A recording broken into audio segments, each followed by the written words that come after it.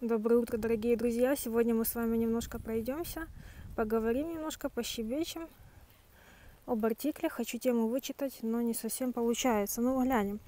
Давайте поговорим о структуре most plus adjective.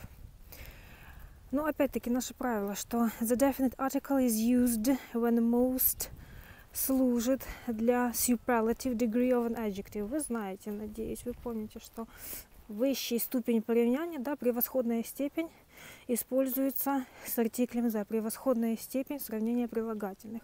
This is the most interesting chapter in the book. The most interesting, interesting, more interesting, the most interesting. Да? The most interesting book – это превосходная степень сравнения. Артикль «the». Использование определенного артикля с этим словом показывает high degree of quality. Высокое качество. Что это значит? К примеру, немножко шумная улица. She found that he had been a most devoted son.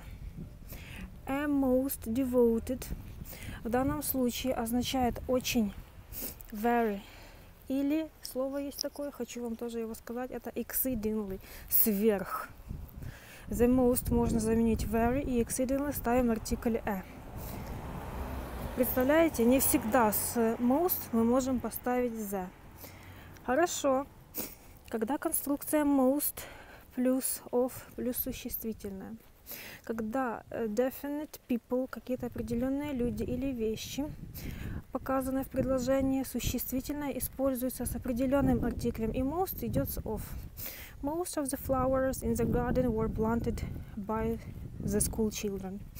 Большинство этих цветов, да, most of the.